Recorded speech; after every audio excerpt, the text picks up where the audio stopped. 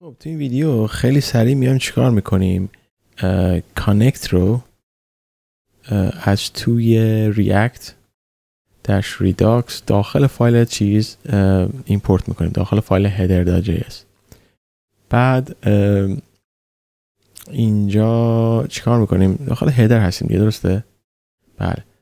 export default رو من تبدیلش می‌کنم به const و بعد تایپ می‌کنم header مساوی قرار میدم با یک function ی که می‌گیره اینجا برای من.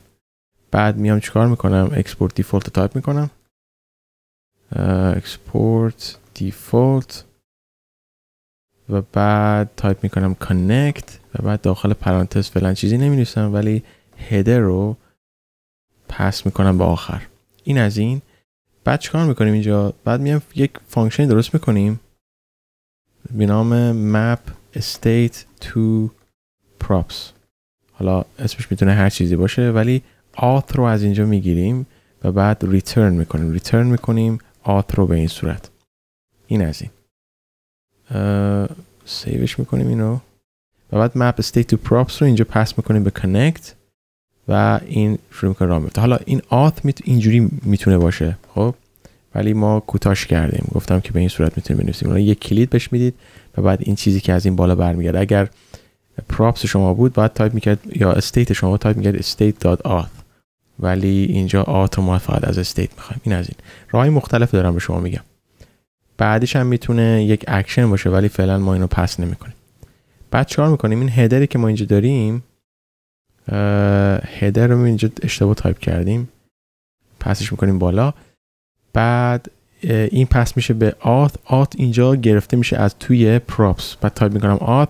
و تنها کاری که اینجا انجام میدیم این که تایپ می‌کنیم console log my تایپ می‌کنیم status.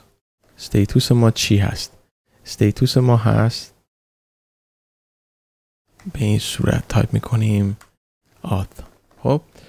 حالا یک اتفاق اینجا میفته. نگاه بکنید داخل React SSR API یا login هستید یا log درسته؟ اگه من log بکنم اینجا نوشته the authentication route نوشته you appear to be logged in.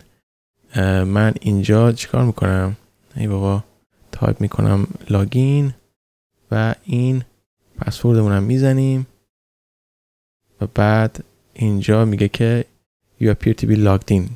میگید login هستم. اگه برگردم اینجا refresh بزنم می‌بینید که status من false ه. چرا؟ چون این این سرور با این سرور فرق می‌کنه. این localhost 3000 این یکی React SSR API هست که این کوکی رو اینجا برای خودش رد و بدل می‌کنه. این کوکی اینجا رد و بدل نمیشه. بنابراین status ما همیشه false هست. حالا logout هم بکنیم اینجا. status ما همیشه false است. پس این ربطی به این یکی نداره. ما باید اینجا از پروکسی اون یه جوری رد بکنیم که login اینجا اتفاق بیفته که این کوکی اینجا ست بشه. و اون موقع بتونیم ازش استفاده بکنیم. ولی اینجا می‌بینید که logout false ه.